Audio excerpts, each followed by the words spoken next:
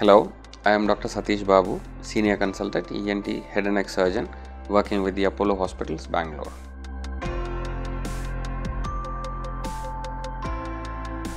There is no best way to clear the ears. There is a saying in medicine where uh, we generally say that anything smaller than your elbow should not be inserted into your ears, right? So, wax is a normal part of your body which is essential there. So, whenever you clean, the skin kind of gets uh, devoid of its coverage, that is the wax formation, and obviously it will secrete more.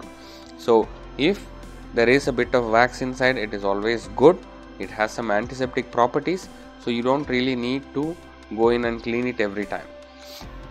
The normal wax, which is uh, anywhere between yellowish tinge to you know maroon or brown color, is quite normal to have. If you try to remove, in the process you may injure yourself exposing the inner tissues of the ear and that can lead to infections pain discharge and all that.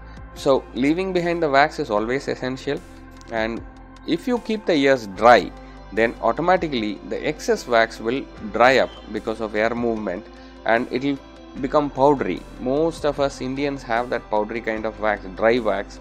So when you lie down uh, because of gravity that powder will fall off. So you don't need any active process to clean the ear even in the worst case scenario if you have a big lump of wax sitting inside the ear it will not it will not cause any problems. Normal wax will not cause any problems. So even if there is a lump of wax inside please leave it inside. Don't try any uh, earbuds drops or oil.